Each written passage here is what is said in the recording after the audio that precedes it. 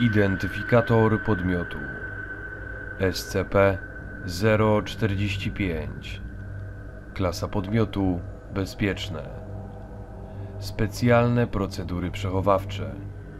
SCP-045 przechowywane jest na platformie egzaminacyjnej w półkulistej komorze przechowawczej o promieniu 5 metrów na terenie stacji badań oceanograficznych 12 o współrzędnych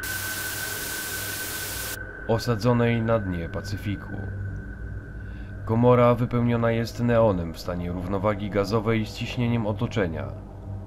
Pomiędzy komorą a sekcjami mieszkalnymi stacji 12 zachowano odstęp 5 metrów od lokalnych wód morskich, a wchodzenie w jakiekolwiek interakcje z podmiotem powinno być przeprowadzane wyłącznie zdalnie za pomocą telewizji lub jednostek mechanicznych.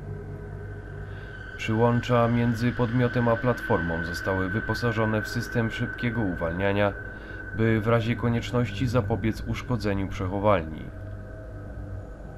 W razie naruszenia komory, wszelkie aktywności sejsmiczne pochodzące od podmiotu lub wpływające na podmiot powinny zostać bezzwłocznie zniwelowane, a podmiot przeniesiony do zabezpieczonej komory zastępczej oddalonej od obszarów zaludnionych o co najmniej 10 metrów na czas przywrócenia zasadniczej komory przechowawczej do optymalnej kondycji technicznej.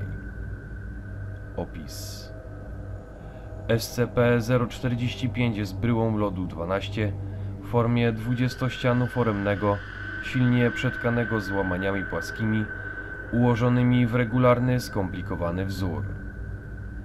Promień bryły wynosi 1,7 metra, a gęstość substancji 2,6 grama na centymetr sześcienny, niemal dwukrotnie więcej niż gęstość przeciętnych próbek lodu 12, niedotkniętego anomalią. SCP-045 pozostaje ciałem stałym w temperaturach z zakresu od minus 273 stopni Celsjusza do 227 stopni Celsjusza przy ciśnieniu pomiędzy 0,4 paskale a 3 gigapaskale. Chociaż zmiany stanu skupienia do ciekłego jak i gazowego są możliwe przy warunkach przekraczających normy podane wyżej, Odległości między cząsteczkami wody z niejasnych przyczyn pozostają mniejsze od standardowych do momentu ich odseparowania.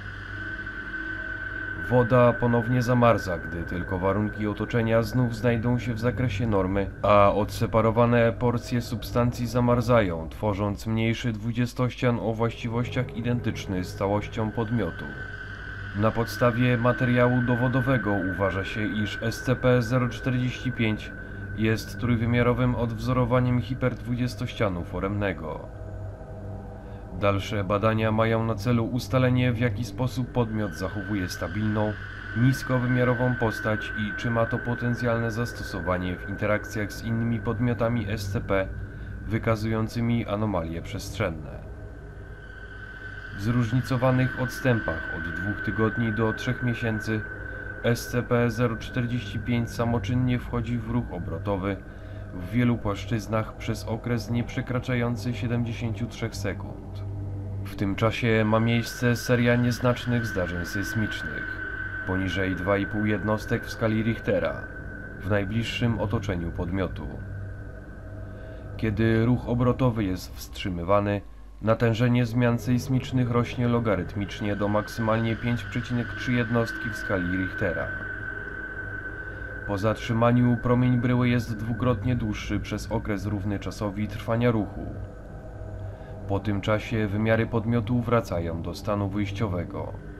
Jeśli w odległości 3,7 metra od podmiotu lub jego porcji pojawi się azot bądź argon w postaci gazowej, zostaje on zastąpiony inną substancją. Azot zostaje przekształcony w wodę w stosunku 1 mol na 1,98 mola H2O, a argon jest zastąpiony kryształkami chlorku sodu, sól kuchenna, w stosunku 1 mol argonu na 4,26 mola NaCl. SCP-045 odkryto w 1972 roku przez załogę okrętu podwodnego Fundacji przeczesującego głębiny Pacyfiku w poszukiwaniu dogodnych lokalizacji dla podwodnych baz mających ustalić źródła silnych wstrząsów zaobserwowanych na tym obszarze. Podmiot utkwił w rozpadlinie, co zapobiegało ruchom obrotowym. Po wydobyciu podmiotu został on przetransportowany na pokład okrętu podwodnego, gdzie na skutek kontaktu z powietrzem zaobserwowano pierwszą manifestację podmiotu. Spowodowało to naruszenie wewnętrznych protokołów bezpieczeństwa, w którego wyniku 12 członków załogi straciło życie. Podmiot został uwolniony, a okręt odsunięty na bezpieczną odległość.